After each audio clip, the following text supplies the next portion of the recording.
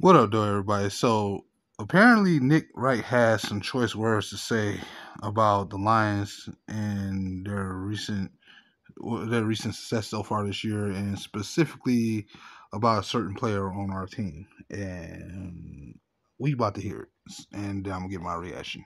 Like, comment, subscribe for more.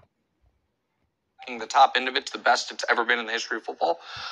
I don't think you can be the best team in the league when you have a civilian at quarterback. Come on. Hold on. I know you're going to get mad. Just wait. Just wait. I think that you, the, he, Jared Goff is great when he's protected, but has a game like last week in him. He has it in him. And when you're going to be, and the whole NFC, by the way, might have civilians at quarterbacks if, if Stafford doesn't get back to old Stafford. All the superheroes play in the AFC. You saw two of them play last night. I think you saw two of them play in the afternoon. Lamar, you know what I mean? 29 out of 30 times is that guy. The, those guys. I can't say this team with Jared Goff at quarterback is better than the Chiefs or the Bills. I can't. I won't. And so I I think they're the best team in their conference right now. I think they're a good bet to make the Super Bowl, and they don't have any, they don't have to beat any of those superheroes at quarterbacks in the in the playoffs. But no, in the modern NFL, I think it's very, very difficult to win three straight playoff games with a, a guy, even if he's a good guy at quarterback. And that's what I feel they have. You can be mad. That's that. What?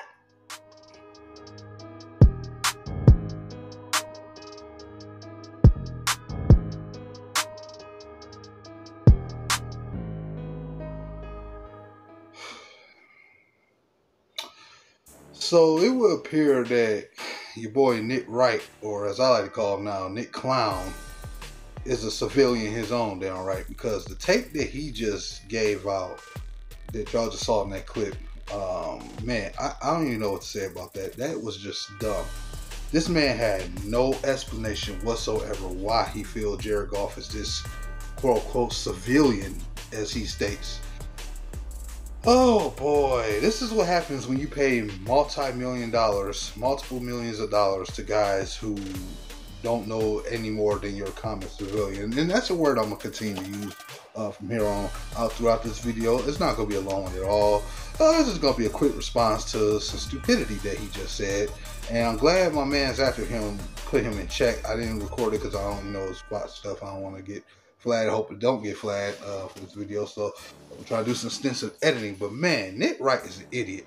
Know, he said the Bears Super Bowl contender stuff, and now you come saying something like this. So you, instead of just giving the Lions credit as the best team in the NFC, you start regurgitating back to this BS quarterback take about how and let's just let's just keep it real what it's about. It's about how much sex appeal a quarterback has because Jared Goff is not this mobile guy like J Herb.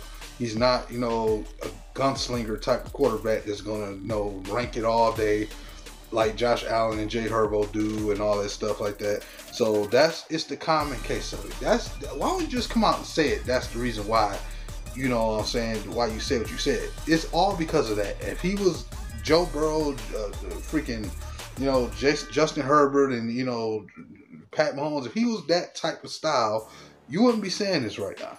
You know what I'm saying? That's the whole reason why he said. Then you turn around and say the entire NFC, for the most part, maybe with the exception of Stafford, give or take, that oh, it's full of civilians. So what's the point of trying to call him a civilian personally? Then why would you say that? That made no sense.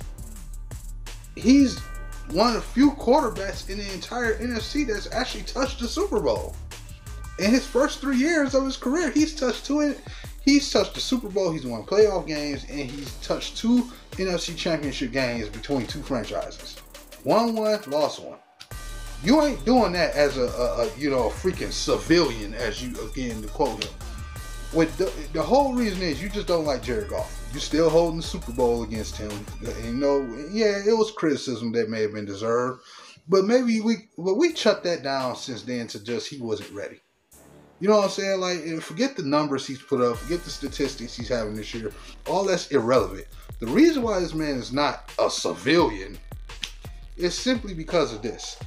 most quarterbacks, and I don't care how mobile you are or not, you need to be protected when you play out there, or you're going to get killed. When you have cultivated enough winning, yeah, you find a way to pay, uh, play past certain problems like that. You know, you see what the Chiefs, where Mahomes has been ugly this year, but they're still winning despite not having the most natural talent per uh, per player. They're not the most talented team, but they find a way to win because that culture is there. And that's what Dan Campbell was built for Jared Goff. You know what I'm saying, man? Uh, and at the end of the day, I'm seeing the decisions he's making. And I I not uh, back Goff up too on this. I feel him that he was telling the truth when he said against the Texans that he felt like, you know, he wasn't personally playing that bad. You know, because those interceptions, down there, all five of them were debatable. You can a lot of them were his fault. You can debate all of them down there that were his fault.